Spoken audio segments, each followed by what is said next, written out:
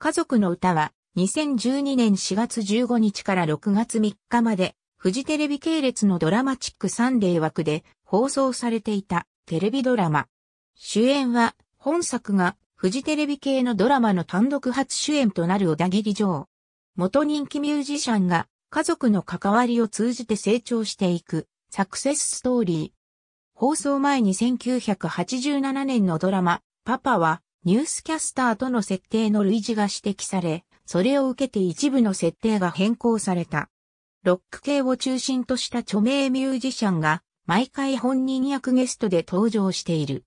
記録的な低視聴率に苦しんだ結果、当初予定の11話を3話短縮して6月3日、放送分の8話で打ち切ることが決定した。フジテレビ制作のドラマが視聴率の低迷を理由に打ち切るとなるのは、明確な記録が残る1987年以降、初めてで、それ以前を含めても、ピーマン白書以来となる。特に第4話の視聴率3.1%は、メッセージ言葉が裏切っていくの。第6話、ライオン先生の最終話、夫の彼女の4話と並ぶ、平均視聴率の3.9%は、メッセージ言葉が裏切っていくの4.4%を下回る、いずれも2000年以降のプライムタイムで放送された民放ドラマの最低だという。夫の彼女が平均視聴率3.87%を記録視聴番組の平均視聴率を下回った。一方で視聴者からの存続を希望する声も多くあり、視聴率に左右されるテレビドラマのあり方についての話題を呼んだ。ロックバンドアンダークラウドのボーカルギターを担当する早川正義は、かつて世間から絶大な人気を博していたが、バンド解散後はソロ活動を始めるもバンド時代の成功を得られず、失敗続きで仕事も激減していった。そんなある日、正義の前に彼の子だと名乗る子供たちが現れる。第1話、第2話、第3話、第4話、第5話、第6話、第7話最終話放送前の2012年2月、脚本家の友野和彦は、自身のツイッター及びウェブサイトで、フジテレビのサイトの新番組紹介に説明された、本作の設定と彼の過去の脚本作品、パパは、ニュースキャスターの設定に類似点が見られると指摘した。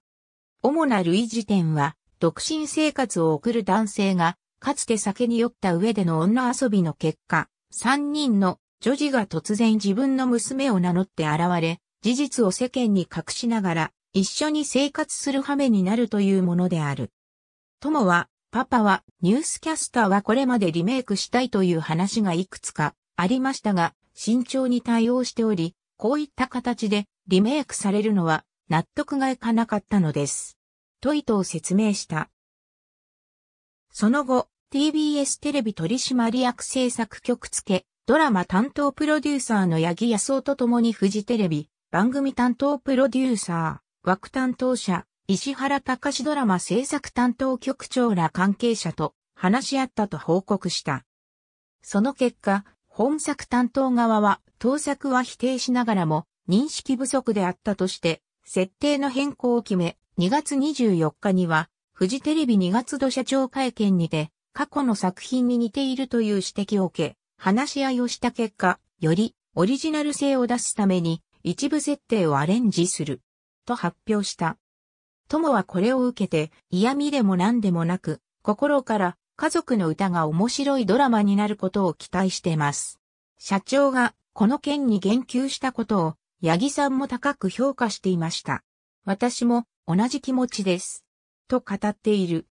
視聴率低迷の原因として、パパはニュースキャスターとの設定の類似が指摘され、インターネット上などで不支持が広がったとの、フジテレビ関係者の分析が報じられている。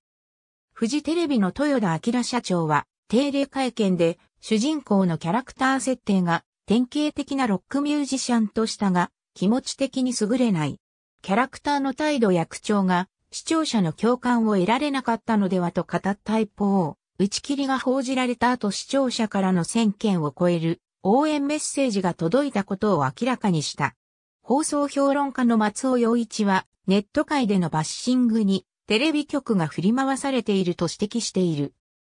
オリジナルコンフィデンスの視聴者に対するアンケート、ドラマ満足度調査による分析では、低視聴率の原因を原作がない作品であり、放送前の認知が低かったこととともに過去作との類似騒動があり、マイナスイメージのある話題が初回放送まで続いたこと、同時期のヒット作にあるようなコミカルな遊びの要素が少なく、今期のヒットの条件にうまく当てはまらなかったのではないかとしている。